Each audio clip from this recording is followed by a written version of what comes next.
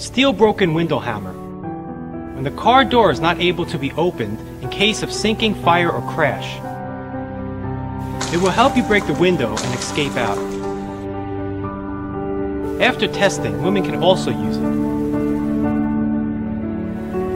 Steel blades on the umbrella handle. You can use it to cut off seatbelts and help you escape.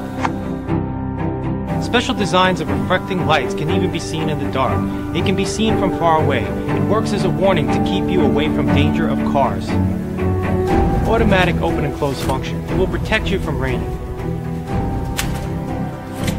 Suitable in length and diameter, special umbrella sleeves, it is very convenient to carry.